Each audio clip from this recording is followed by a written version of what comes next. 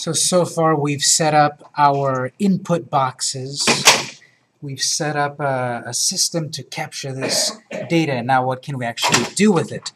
Well, that's all going to be uh, JavaScript, and that's going to be PouchDB. So, we'll get back into Notepad.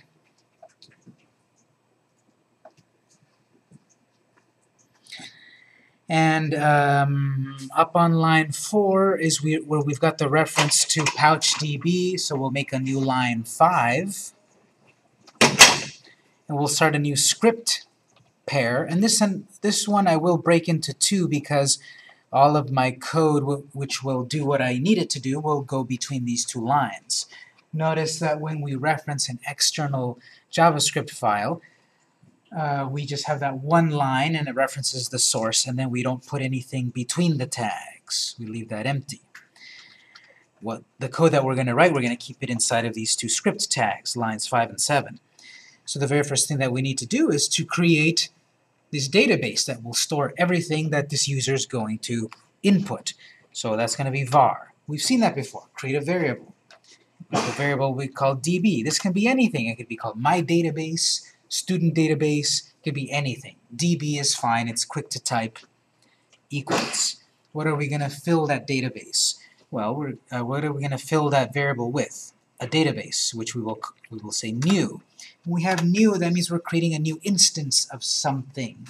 We're creating a new object. The object that we're creating is a pouch db object. And notice the spelling here. Capital P, capital DB it should stay black because Notepad++ doesn't really know what this is. And that's okay. This is defined inside of this, the JavaScript, the PouchDB JavaScript file. So don't, don't worry if it doesn't turn a color. But uh, double check that you got capital P and capital DB. What this says, okay, we're going to create a new instance of something called PouchDB which is the database. And then we're going to put it into this variable. Well, we need to create the internal name of the database. The, the, this is the database that is behind the scenes that we don't really need to, to access directly. We're going to access it every time we reference DB. So inside of the parentheses, we're going to put quotes, and we'll say the name of this database internally is called SDCE classes.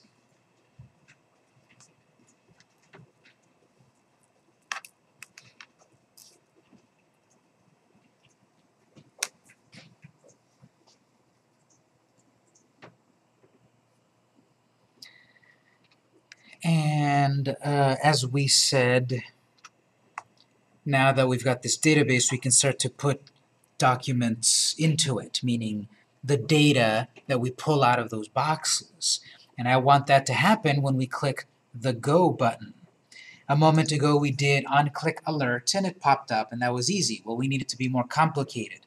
So let's go back to line 19 and say, well, when someone clicks the Go button, I want it to uh, run a function that we will invent in a moment called add classes. Open, close, parentheses, semicolon.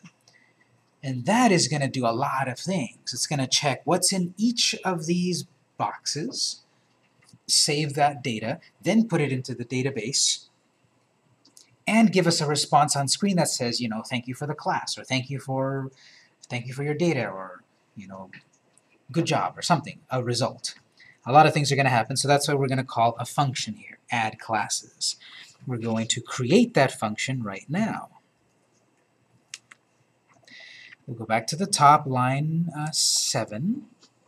I'm going to add a new line here, just so that if I, uh, aesthetically, I'm going to separate the, the place where I created the variables with my function. So I'm going to create a function here type function. The name of the function I just referenced a moment ago, which is add classes.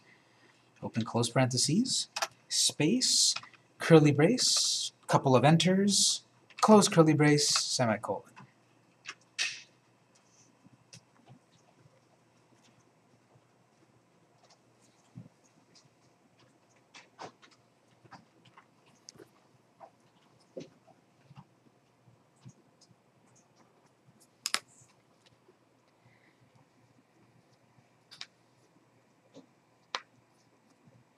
So here what we'll do just again for to test if this is correct, it's always a good idea little by little test your code so far if possible. Sometimes it's not possible, but at this point we can. Uh, we will we will do a little thing here. We'll say um, actually before that um, what we want to do is capture the, the contents of these boxes and then do something with it. So inside of the function, we will say var, we're going to create a variable. And we're going to call this class CRN. I'm going to create three variables. Yes, I know it's incomplete, but I'm going to write class title, var class instructor. So here I'm going to create three variables, and notice at the top line 6, I created a variable called db and put a database into it. And here what I'm doing is I'm creating new variables to capture the stuff in each of these fields. Slightly different thing that's happening here, however. I'm creating these variables at the moment that I run the function. So I'm creating a new variable dynamically every time I run the function. When you create a variable outside of a function, it's created and it can be used everywhere throughout the program. When you create a variable inside of a function, it can only be accessed in that function. The scope of it is that this variable only exists in the world of the add classes function. We would not be able to call or use class CRN variable anywhere else except in this function. We're creating these three variables, and at the same time we will fill them with the contents of each of these boxes. So we'll say on the first one equals document dot get element by ID. Which ID? Well, the one called CRN field. Specifically, its value. That was like when we did the alert. Show me what's in that box when you click go. But here we're making it a little bit more permanent by taking that value and putting it into the, the variable, class CRN. We need to do just about the same thing for class title variable and class instructor variable. I'll do it once more and then I'll copy and paste. So line 10, document dot get element by ID which ID, title, field. Right, each of these boxes, text boxes, has a unique ID. That's what I'm talking about here. And then at the end I say dot value. Give me the value. When someone types something into it, give me that value. And then the last one. This one I'll copy and paste. That whole document get element by ID, and that one will be instructor field.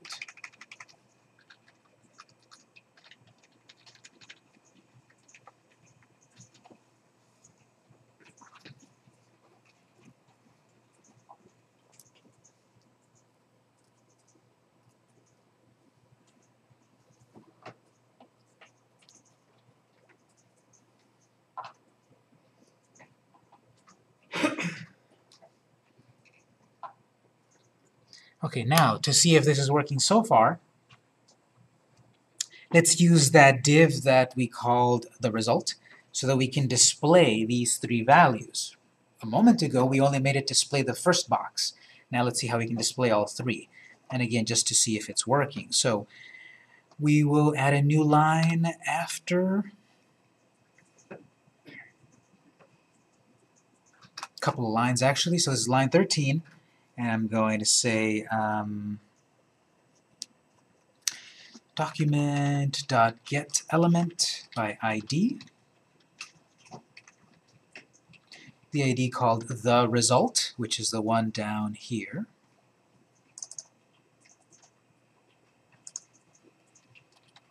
That's that placeholder div.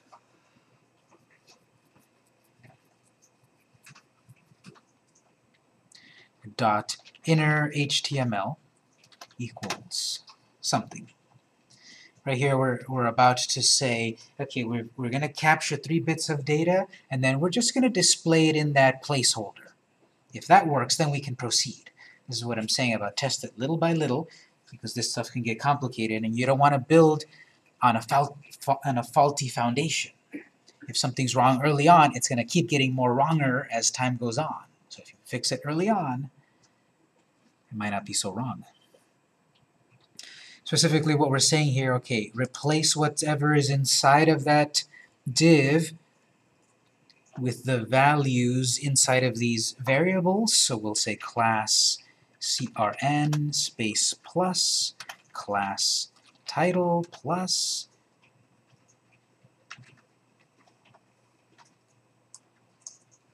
class instructor.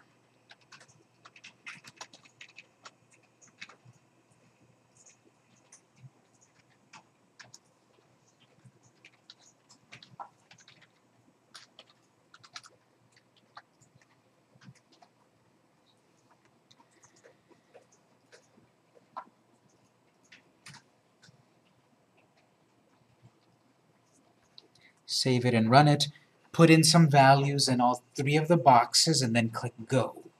The result should be that those three values then suddenly appear below the form. Not very pretty, don't care about that yet, but at least the values should appear on screen.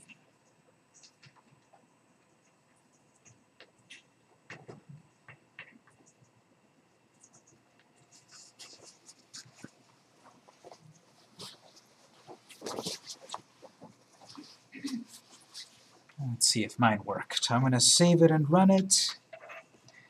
So I'm going to make up a class number, 123, a class title, uh, Android, an instructor, go. 123, Android campus. No spaces, of course. We didn't tell it to do spaces. That's fine. That should be the result. How many of you got a result like this? Good. Let me put my code back up here if you still need it. Anyone need some help? Can't quite zoom in to show everything. I guess let me make my text larger. Hopefully that works there. Anyone need some help?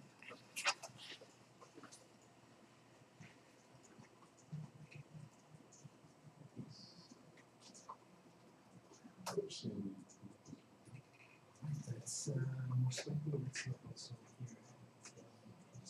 here. This will tell us on the console. So it's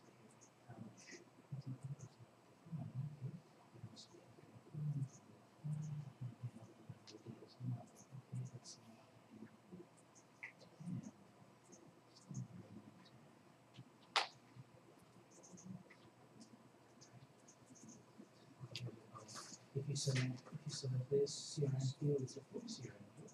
If you brackets, it's a CRN field. Text says title field.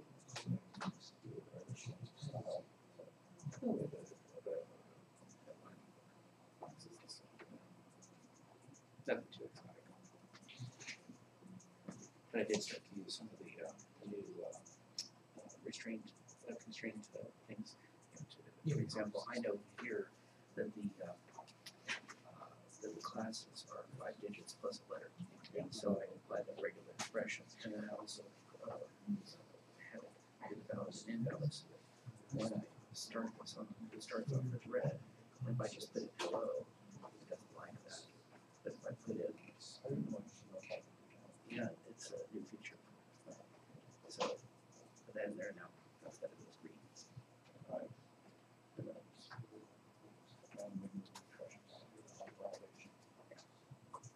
Now, this brackets editor, one of the things it has is a, um, uh, a feature for, that you can add to it, that lets you, uh,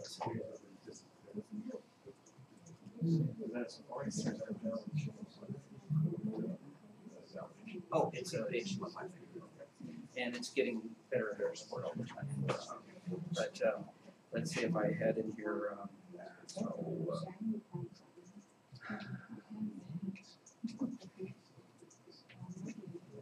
just throw a, a little thing, looking for an an email address. Make the simplest one possible.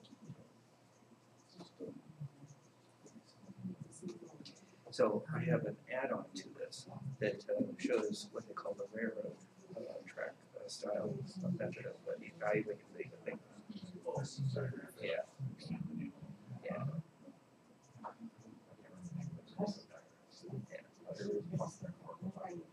Mhm.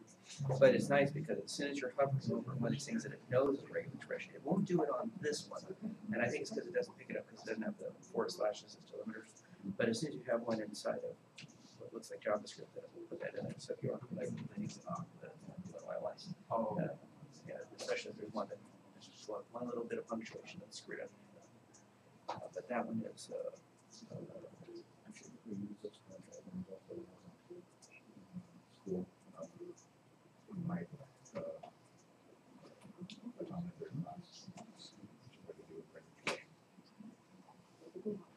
uh, for some reason it's not picking up the uh, list of things I've installed. Uh, but anyhow, the uh, but this one is something called like railroad railroad regular expression diagram or something like that. It's a plug-in for brackets that lets you do it. It's a nice lightweight editor and it works on every platform. Um, every desktop platform. Oh yeah. The Outlook is our, it's our Bible. Yeah.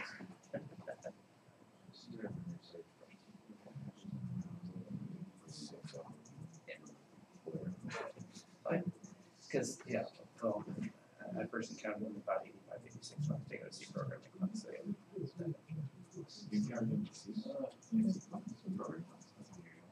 It is. Well, the, uh, the C class was at, uh, uh, San Diego State, and they gave, they put us on BSD Unix uh, servers. And so there were some regular expressions that uh, came up and said, Go ahead, yeah, Jerry, wait some, for the some of the other, yeah, ancillary things. Yeah, have their expressions on, Mhm. uh, Oh. Uh, it was the, the RE graph is regular expression. Expression parser or something, yeah. No, it was, no, it was regular expression. It's, it's, graph is older than, Yeah. Everything else is GSP. graph is actually later than seven. Sure. Try it. I'm sure, I'm sure we go back to the days. Someone who's around the time that he was in high school, uh, maths.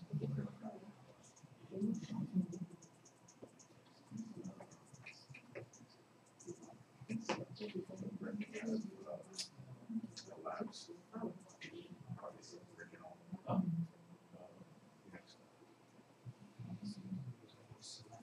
I was quite surprised when I discovered Linux in two thousand. The command, you know, that we were using was just like the one from that I had in eighty-five. Years, and it was a long time, and some other things that I can over.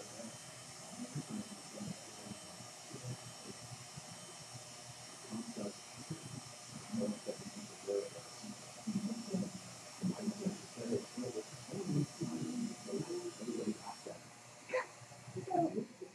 sure.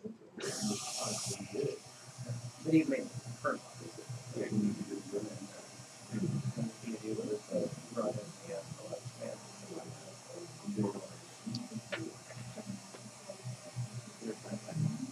Three persons.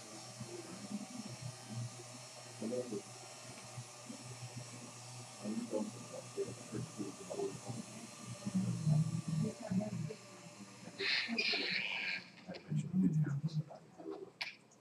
Okay, I'm gonna show something. Job. All right, so uh, I think you still have a little problem. We'll fix that in a moment, but I want to bring to your attention something that we're going to, we're going to be using, uh, again, we've used previously. Remember uh, the console in the web browser? That's gonna, let me reintroduce that to us because that's going to help us figure out some of our syntax errors and such. So if you're running this on Firefox, what you want to do is uh, run it in Firefox and then right-click anywhere and select Inspect Element. Remember we used this when we wanted to figure out the CSS, but the, but the console is also there and it comes really handy when you're using JavaScript, especially when you get errors. So go to Inspect Element in Firefox or whatever web browser, and then you should have console tab right here. Go to console, and this will pop up to tell us any issues that might be coming up. So, in my case, for example, I forgot to declare the uh, HTML uh, character set. I'll do that just to get rid of that message. And then invalid state error, which is inside of that file. Now, let me let me make something. Let me put something wrong here just to show you. Let's say that I typed something wrong somewhere. I don't know where. And then I'm going to run it in Firefox, and I type stuff, and I get no result. Notice I don't get any feedback. I am getting feedback in the console. So that's why we want to do inspect element, check the console, right here. Reference error, add classes is not defined, line 1 in my file. So try looking at that, I'll, come over to help people, but look in there and see, oh, okay, that's obviously a misspelling. And oftentimes it tells you what line number to go. This one isn't exactly telling me for some reason. But try looking at your at your console in the element inspector, and then uh, that really helps to figure things out.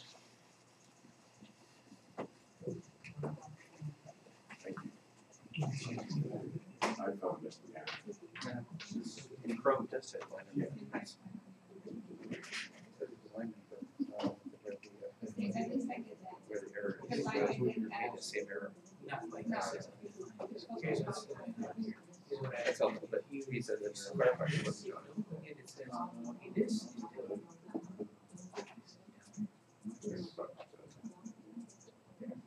So So it like my touch HTML one.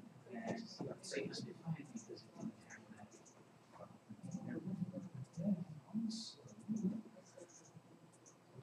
Certainly be more helpful. Yeah.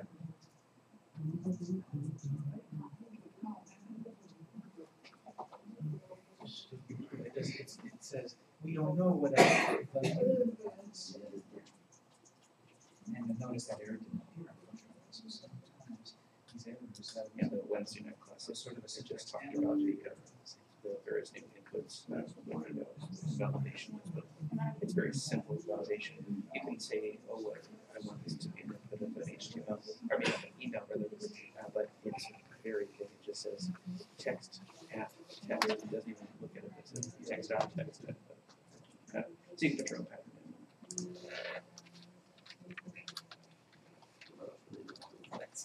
Yeah.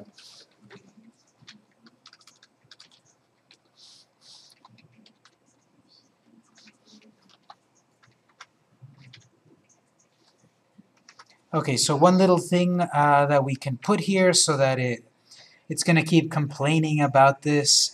So let's go back and do this uh, on our code line 4, add a brand new line right after head. We'll write this, this meta tag, so that we say what character set of code to use. Is there a dash there or not? I have seen it with a dash, yes. Although I noticed your error disappeared. Yeah. I wonder, I wonder if we write anything here, if it'll, if it'll It might make a difference when you're trying to validate them. Yes.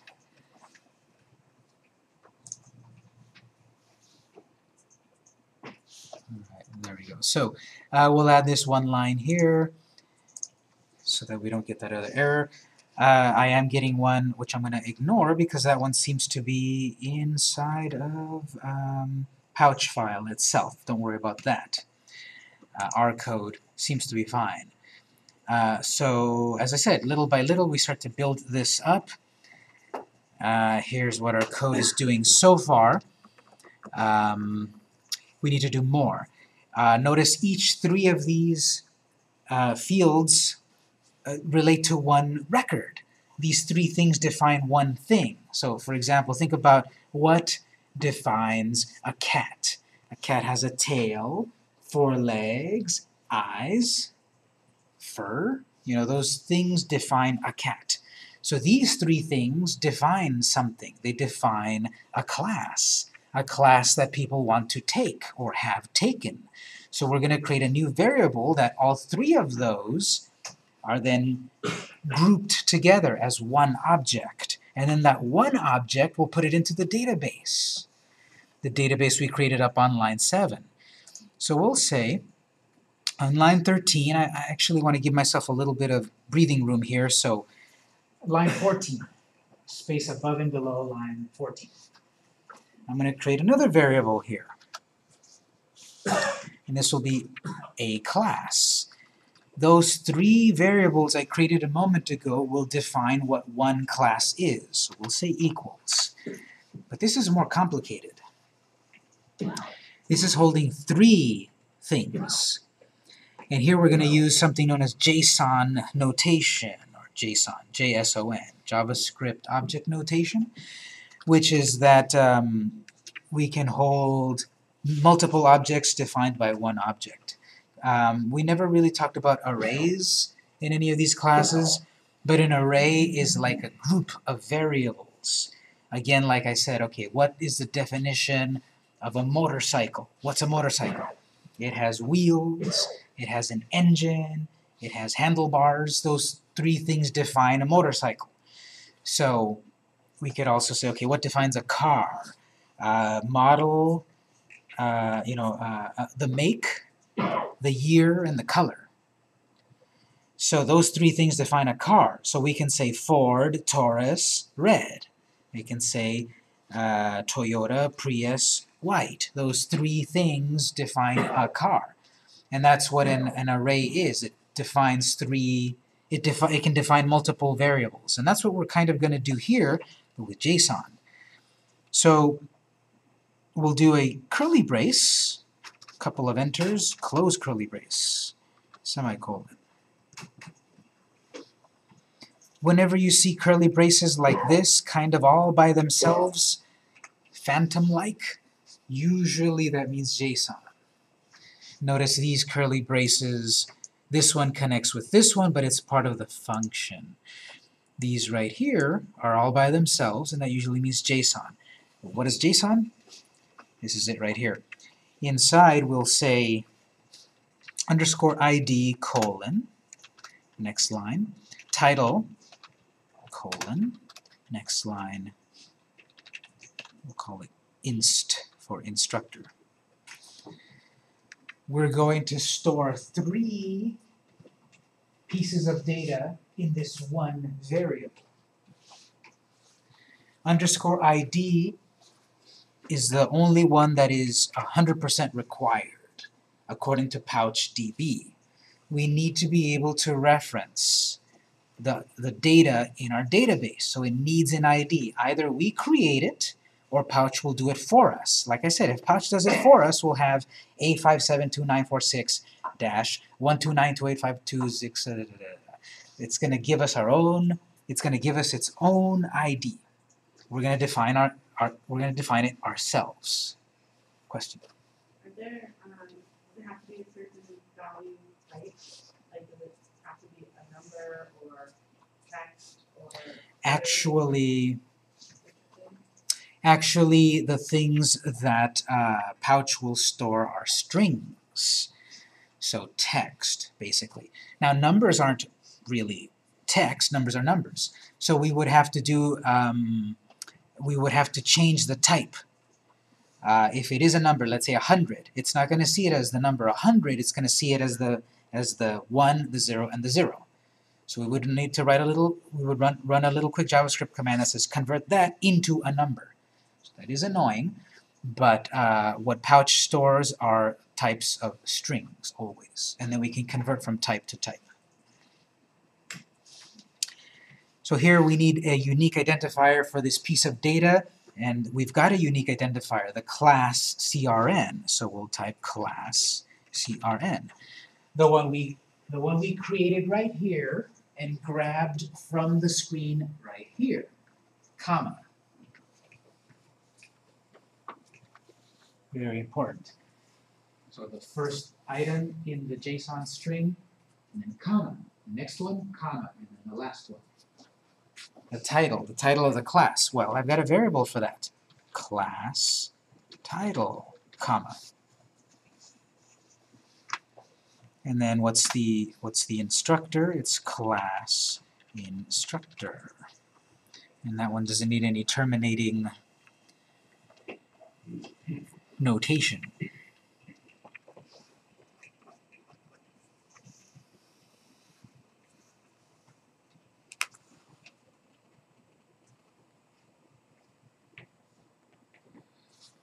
So the point of this is this, at, in the beginning, needs a little bit of setup, and it looks weird perhaps, but as we go on, it, it's going to be very cool because we'll be able to reference any value of object inside of the main object with dot notation. We can say a class dot title and get that title for that particular object.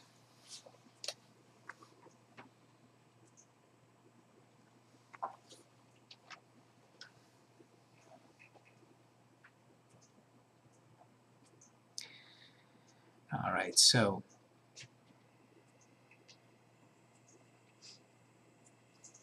I'm curious about something here. Let's change line 20. So everything after the equals,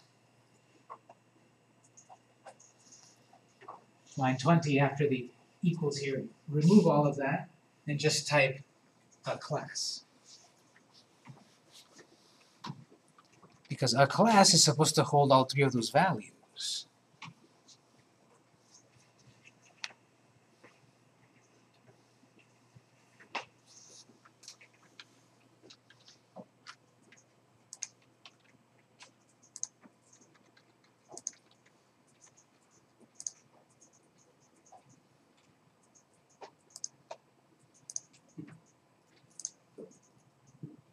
Very object object. okay, don't worry about that just yet then. We are going to put that stuff into the database. So if that didn't do anything, don't worry just yet. Uh, okay, so we've got these three values that we are collecting, and we're collecting them as one super object, a class. And then we're going to put that into the database. We haven't really put anything into the database. We're still setting it up. So now the next step here is we're going to write db, that's the name of our database, and we can run a variety of commands on the database. That's what the API is telling us up here. For example, it's saying, this is what we're about to do. We're going to create or update a document.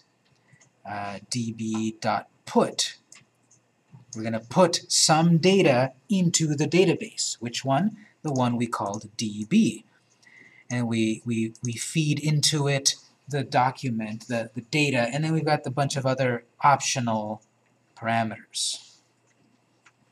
So our code is going to be db.put, open and close parentheses, and then semicolon. And here we're going to get complicated. So actually, I'm going to break this up like that.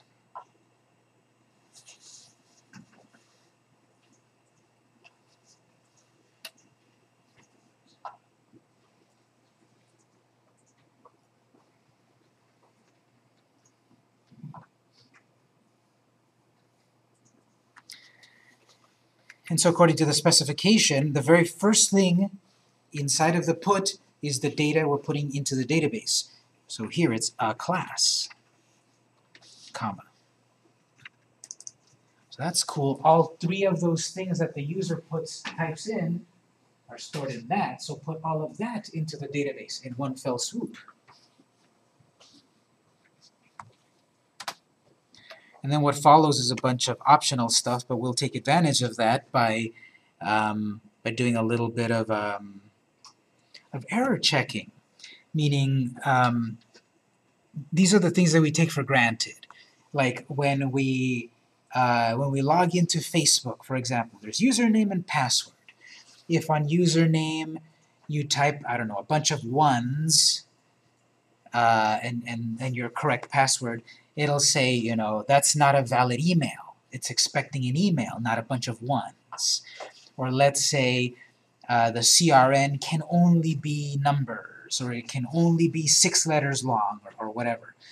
Uh, so that's what we take for granted. Someone had to program all those possibilities. When we do something more complicated, we have to think about, you know, we have to think, what can, how can the user mess this up? How can they put the wrong thing in and hopefully deal with it? Us, we have to be the ones to deal with it. So we'll do a little bit of, um, of, of error checking and such here. Uh, so Won't you do it as part of the form? We could.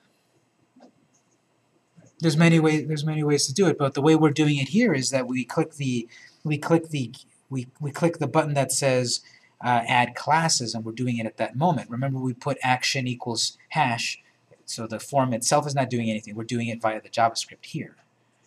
So we, we could do it there that way perhaps too. So after the comma, we'll say function. We're going to make an anonymous function here. Um,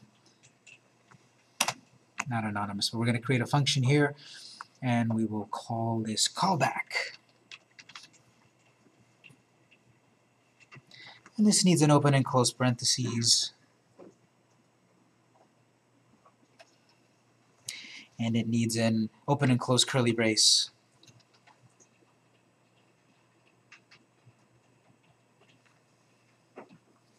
So what I'm doing here is dynamically at this moment, I'm going to check a couple of things. If there's an error saving stuff to the database, uh, or if there's no error, so a positive result or a negative result, basically. I'm going to check for those two. Is it a positive result, negative result? Um, and so I'm going to be checking if-else statements and such. So this actually, I want to break it up onto the next line. Actually, I want to break it up like this.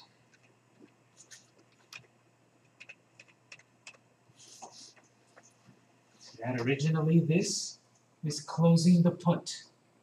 And that angle bracket is closing the function called callback.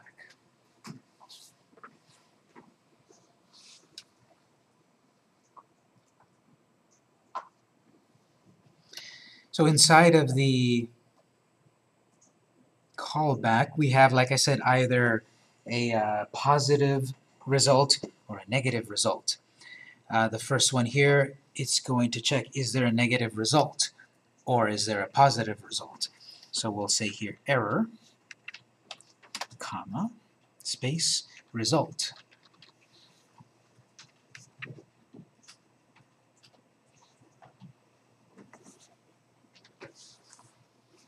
You want to write it in line. Why do we want to write it in line? You could write it offline, right? And you can create it as a separate function. We could, but it seemed like um, so this this this thing that we're going to end up with works this way. We could probably do it that other way too, but I'm I'm going by a tutorial also that that works this way. So sure, there's like many ways to to skin the digital cat. So this is a little bit different than we looked at before, but what we're doing here should look familiar to everyone, right? We've got function, we name the function, we put in some parameters. Uh, also the, the documentation in Pouch, you know, here we've got callback. What is the function that we run based on our results? So notice this example here. Function, this one is the anonymous function a result or a response. Same same sort of thing. Negative response, a negative result, positive result. But they are actually using an anonymous function here, where we're using a named function. Yes, exactly. So they, yeah, they they didn't name a function. It's an anonymous function. Same kind of concept. First the um, the negative result and the positive result. All right. So. Now inside of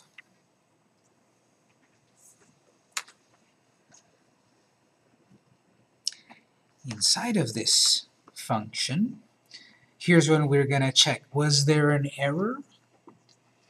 If there was an error, then maybe give the user feedback like try again or, or, or the specific error that happened. Or else there's not an error, so that means, okay, put this, this data got put into the database.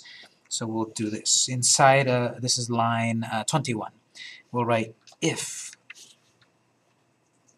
and we'll do open close parentheses, space curly brace, couple of enters, close curly brace. This is going to check if something happened, if something is true.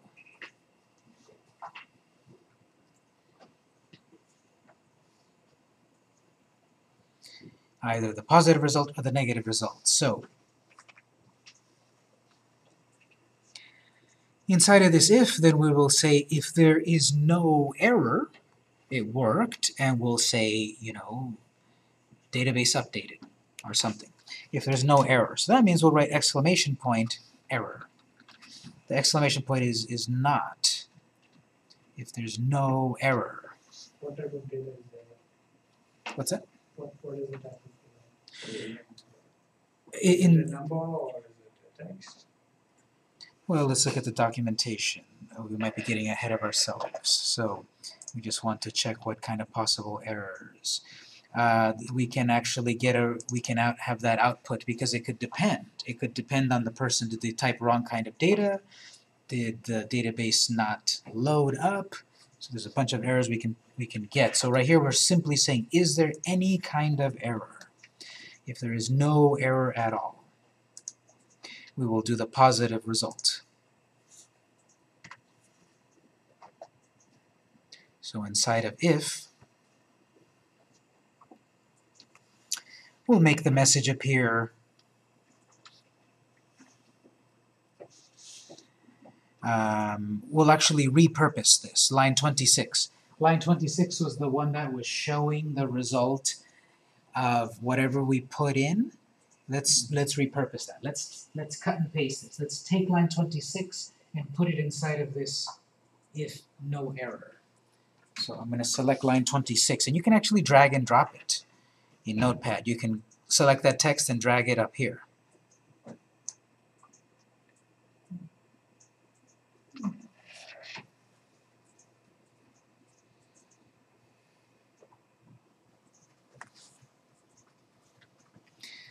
But what I wanted to say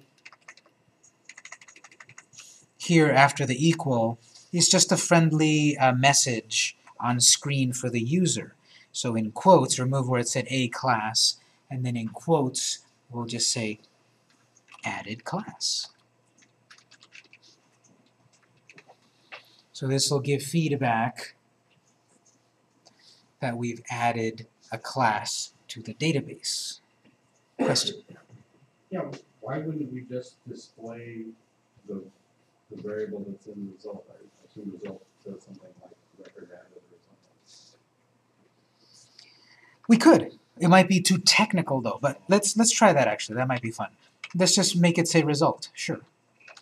Well, where's result coming from? Result automatically is called back from put. So something is inside of error and something is inside of result. Just for fun, let's see what it is. It'll probably be pretty technical. Let's just see what it is. So here we're saying, okay, the result of putting the the data into the database, if it's a positive result, if there's no error, show me what that result was. Whatever PouchDB says it is. So at this point, let's see what happens. And this is the thing with a lot of a lot of times with this this programming stuff that you're gonna get um, very technical results.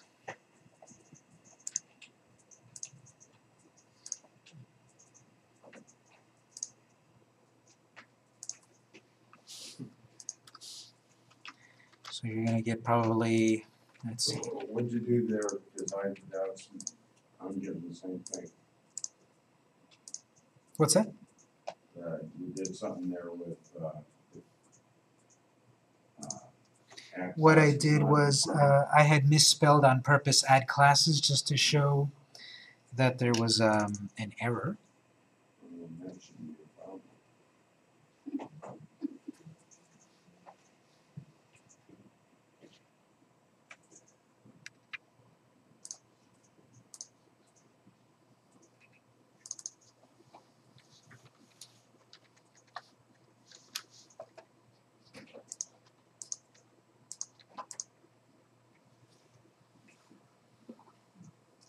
In the, in the put documentation, it- says that the callback function is the fourth parameter, we have to put extra commas? in before our function? Well, in the example that, that I'm working off of, I don't. I when I've when we've done this before in previous classes, we didn't.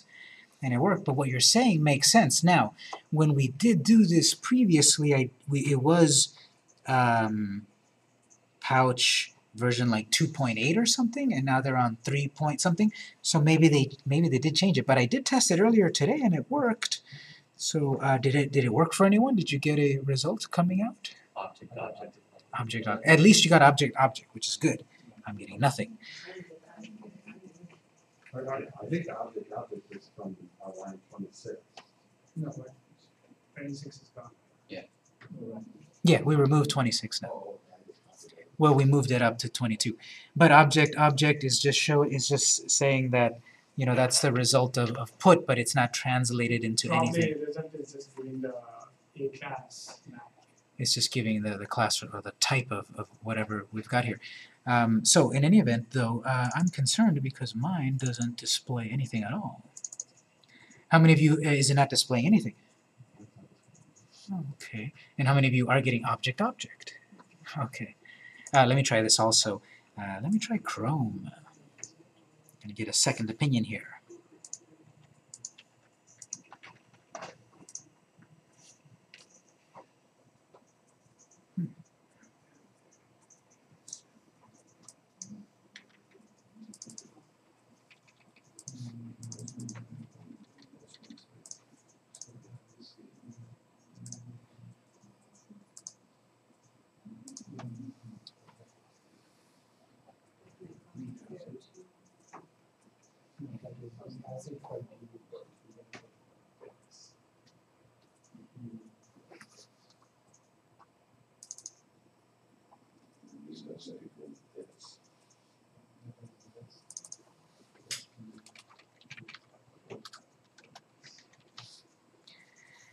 Okay, I'm gonna I'm gonna add the else part of this. Doesn't quite work just yet, but perhaps with adding else, because I'm not getting a I'm not getting much feedback about what's going on.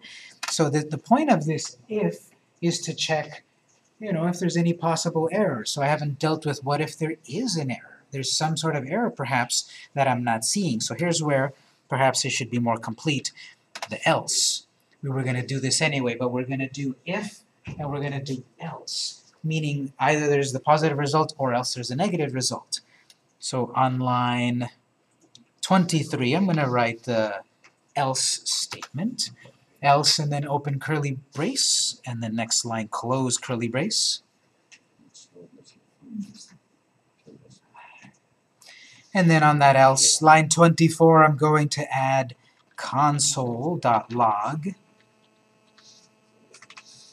and I'm going to say, tell me what the error is.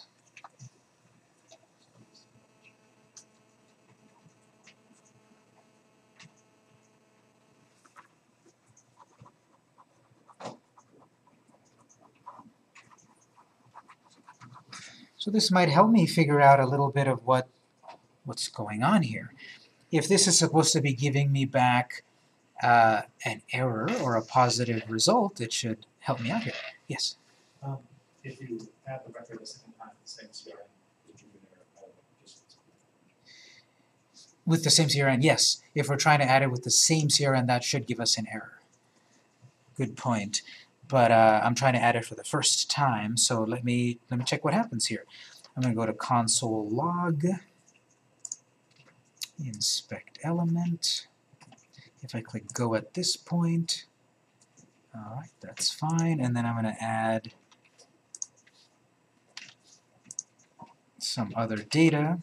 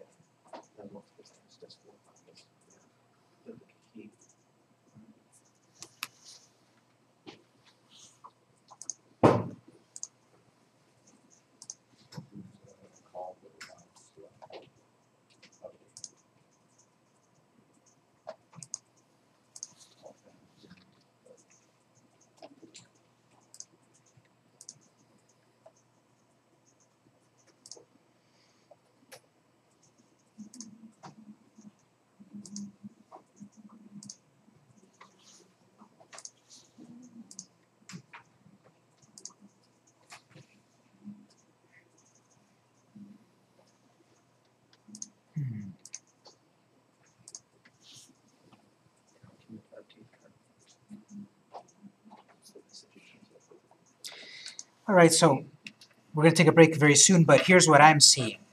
Now, um, let's actually do this together just so that we're kind of seeing more behind the scenes also. Uh, let's go back to Notepad and save this, and then let's go to Run Chrome. Let's switch. Let's definitely go to Chrome because I want to see is stuff getting saved to this database. And Chrome has a built-in viewer to see the database itself. Firefox, I think you need the, the Firebug plugin, but we'll look at Chrome. So go to um, launch Chrome.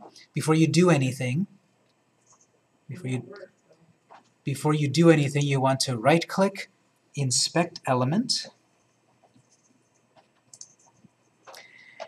and one of these tabs here is uh, resources. Click on resources, and this would show you all the databases that we have access to, specifically IndexedDB.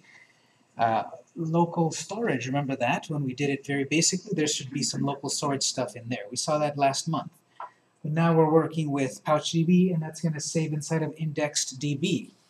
So if you open that IndexedDB, I see here Pouch SDCE classes. You can stretch that out. And then a variety of ways to view the data in the database. If I look at locals, if I look at by sequence, so far I've added two values. I've done this twice. And the first one right here, title, that gibberish, and then the other one, that gibberish. So it seems that I'm adding data, but I'm not getting these these error results. So watch this. I'm gonna do I'm gonna do again. I'm gonna do one, two, three, class Android, instructor Campos. Go. I did get a classes added there in Chrome. That might be the problem. I'm going to refresh this, and if I look at if I look at by sequence, the third bit of data that I added to the database is what I just wrote. Title, instructor ID. So I think Firefox, whatever version we have here, might be the problem. So I'm going to try it in Firefox again. So I'm going to go...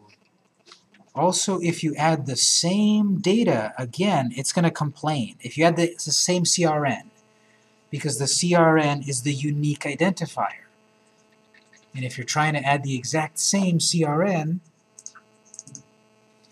it'll give you an error. So I think the problem is going to be Firefox. We're going to be running this in Chrome. So in Chrome, I'm getting a result.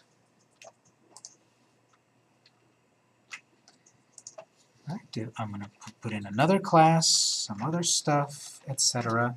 Go, and I do get class added. So check inside of Chrome. Question? Mm-hmm. Revision. Revision. Uh, PouchDB is keeping track of uh, revisions to uh, to your data internally, and that's cool because um, th this is how you can know to update a record. Is the data that we're putting into this record new or old data? So it's keeping track of, of, of revisions to the data. Um, that's why perhaps we're trying to input this data with the same R CRN and it doesn't want to work. So it, we didn't add this. This is something internal that's built into the PouchDB standard. And that's okay. We, we want that because later on we can compare. Is this record new or old? When we move from one device to another, let's say. Uh, so that's the third bit of data that's being added. The fourth bit. What's that? It uses that it synchronization. Exactly. This this works when we do synchronization. When we go from one device to another device, we want to synchronize. Does this is this data old or new? We can check for that. So um, again, the confusion is that it seems that Firefox, for our testing purposes, won't work. We're going to use Chrome. And looking inside of the uh, element inspector in the resources, this will tell us. This will pull back the curtain and this will show you. Here's the database. That's the name we wrote earlier, SDCE classes, prefixed with underscore pouch.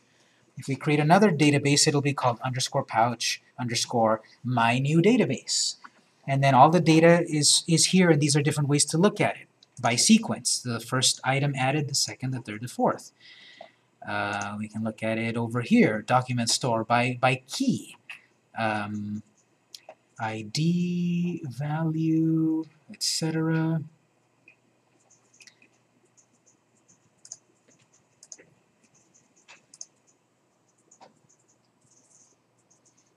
And so forth. So, it seems a little confusing, and it is. This is complicated stuff.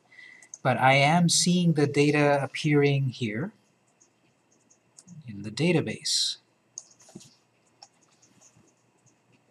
The title, the instructor name, and the CRN number under ID. And if you click on these, then it'll go in and show you even more of the data in a different way.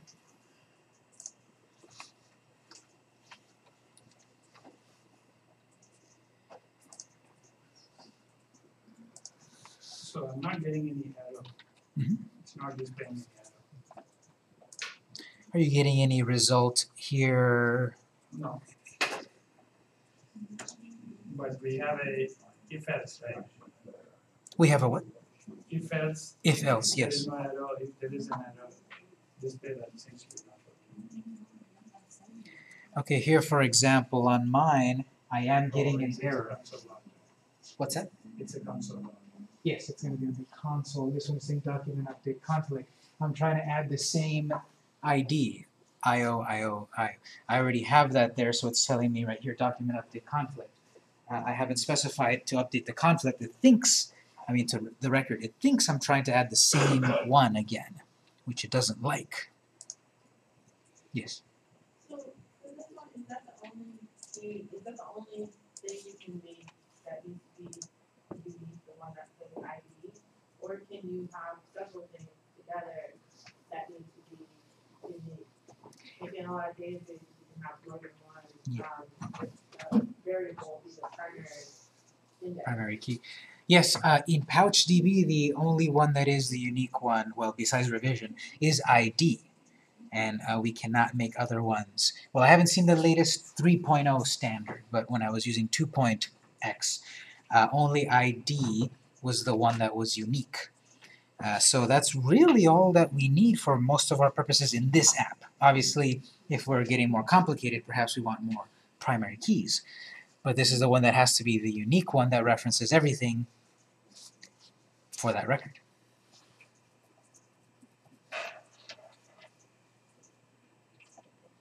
Alright, so let me get a show of hands again. When you switched over to Chrome, how many of you, raise your hand, did this work? Seems like it. Okay, how many of you seem to still have some issues? Okay, we'll, uh, do break in just a moment. But this is now, again, this is this is the can of worms. This right here we haven't even dealt with. Okay, what if the CRN has to be a number and someone puts letters? What if the CRN is four digits long and someone puts five digits? You see all of that that we have to deal with to get good data into the database. Right now it's very simple. You can plug in anything into the database, even if it's wrong. So, um, can of worms. Let's take a break at this point and uh, answer a few questions and then keep working with this thing because we've got more, more of it to do. More to do with it. So 10 minutes, it's 8.11, we'll come back at 8.21.